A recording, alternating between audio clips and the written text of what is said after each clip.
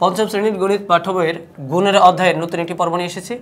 এই পর্বে আমরা এই যে দুই নম্বর অঙ্কের বাকি তিনটা অঙ্ক সমাধান দেখাবো। অর্থাৎ এর আগের যে তিনটা অঙ্ক ছিল, সেই অঙ্কটা আমরা এর আগের পর্বে সমাধান দেখেছি। এই পর্বে আমরা এই তিনটে অঙ্ক সমাধান দেখাবো। তো এই পর্বগুলোতে আমরা একটা সুবিধা নিচ্ছি, সেটা হচ্ছে যে এই গুণগুলোর সহজ পদ্ধতি যেটা, সেটা আমরা অবলম্বন করছি। তো এই মূলত এই গুণগুলোতে সহজ পদ্ধতিটাই নিতে হবে। এটাই তোমার বইয়ের যে উদাহরণগুলো আলোচনা করা আছে, সেই উদাহরণের মধ্যে এটা ইঙ্গিত দেওয়া হয়েছে যে এটা মূলত লেখা নেই এখানে যে সহজ পদ্ধতি গুণ করো। তারপরেও এটা সহজে করা যায়, সেই পদ্ধতিটা নিতে হবে। তো দেখো, এগুলোর মধ্যেও সহজ করা যায়, তার মধ্যে সব থেকে সহজ হচ্ছে ছয় নম্বরটা। চার নম্বরটা দেখি। চার নম্বরটা আমরা সহজ করতে পারব।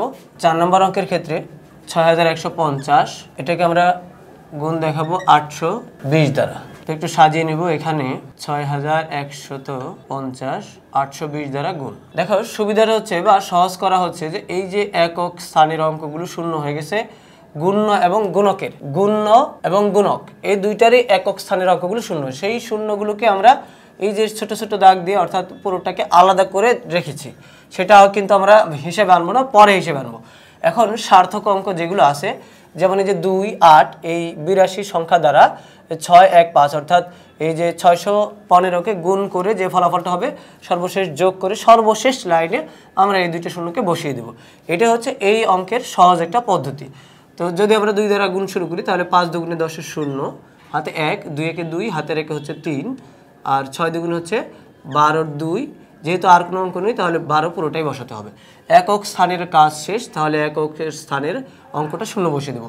এবার আট দ্বারা যদি আমরা গুণ করি, তাহলে পাঁচ, আটে চল্লিশে শূন্য, হাতে হলো চার, আট, একে আট, আর চারে হচ্ছে বারোর দুই, হাতে এক, তাহলে ছয়, আটে আটচল্লিশ হাতে রেখে হচ্ছে উনপঞ্চাশ যেহেতু আর কোনো অঙ্ক নেই, তাহলে উনপঞ্চাশ পুরোটাই নিতে হবে। এবার দেখো, এই যে মধ্যবর্তী অংশের যে সংখ্যাগুলো আছে, উপর নিচে সেই অঙ্কগুলো যোগ করে ফলাফলটা নিচে বসাবো। তাহলে শূন্য শূন্য যোগ করলে পাই আমরা শূন্য, তিন আর শূন্য যোগ করলে পাই তিন, দুই দুই যোগ করলে পাই চার, এক আর নয় যোগ করলে পাই আমরা দশ, দশে শূন্য বসালাম, হাতে এক এক চারের সাথে নিলে হয়ে যাবে পাঁচ।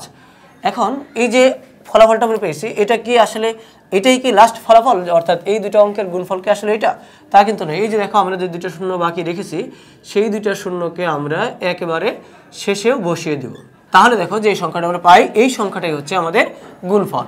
তো আমরা এটা এইভাবে লিখতে পারি, সুতরাং নির্ণয় গুণফল অথবা আরেকটা পদ্ধতিতে গুণফল লেখা যায়, এই দুটা গুণ এভাবে লিখে, সুতরাং দিয়ে এই দুটাকে গুণ চিহ্ন দিয়ে দেখিয়ে সমান চিহ্ন দিয়ে এটা লেখা যায়। তো আমরা দুইভাবে লিখতে পারি, তোমার যেভাবে খুশি তুমি লিখতে পারো। সুতরাং নির্ণয় গুণফল পাঁচ শূন্য চার তিন শূন্য শূন্য শূন্য। সংখ্যাটাকে যদি তুমি একবার বলতে চাও, তাহলে একক দশক শতক হাজার অযুত লক্ষ নিযুত, অর্থাৎ পঞ্চাশ লক্ষ তেতাল্লিশ হাজার।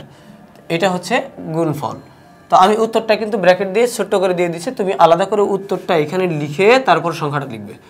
তা তাহলে কিন্তু তোমার, যদি এই অঙ্কগুলো আসে পরীক্ষায়, তোমার স্কুলের পরীক্ষায়, তাহলে কিন্তু অবশ্যই নাম্বার কেটে দেবে। তো এবার এর পরবর্তী অঙ্ক, পাঁচ নম্বরটা দেখো, নিয়ে নিচ্ছে। পাঁচ নম্বরটা চার নম্বরটার থেকে তুলনামূলক আরেকটু সহজ, যেমন তিন হাজার চারশোকে আমরা গুণ দেখাবো সাতশো দ্বারা। এটাও একইভাবে সাজিয়ে নিব।